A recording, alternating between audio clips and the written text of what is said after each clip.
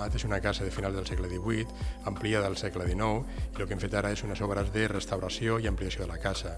Hem restaurat la casa l'any consolidada, vale? i a més a més hem restaurat les pintures murals que també hi ha a la casa, juntament amb el mobiliari històric. I juntament amb això, el que hem fet és una ampliació de l'edifici, que bàsicament el que podré trobar al, als ciutadans que vinguin a la ciutat és una sala d'exposicions temporals perquè la, la ciutadania i la mateixa Ajuntament pugui fer exposicions sobre diversos temes de patrimoni, també trobarà espais per fer tallers, per fer sala de conferències, per fer xerrades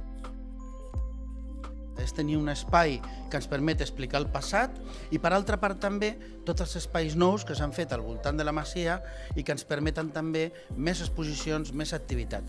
Amb el fons, quan parlem d'un museu, no estem parlant només del passat, d'una foto fixa. Aquest serà un espai amb molt dinamisme, amb un projecte museogràfic innovador, amb moltes activitats cada any, cada mes, eh, cada setmana. Eh, veritablement el que hem guanyat és aquí al Casc Antic i al centre de la ciutat un espai de vida i un espai cultural.